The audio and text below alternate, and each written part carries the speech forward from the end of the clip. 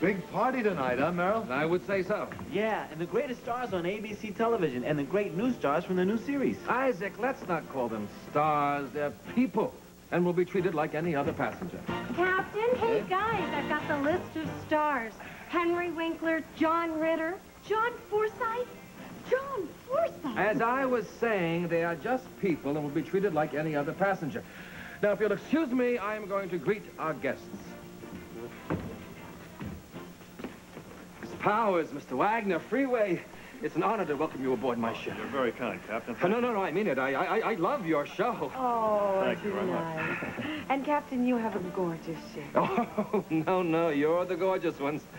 Well, if I may, shall we join the party? Shall we?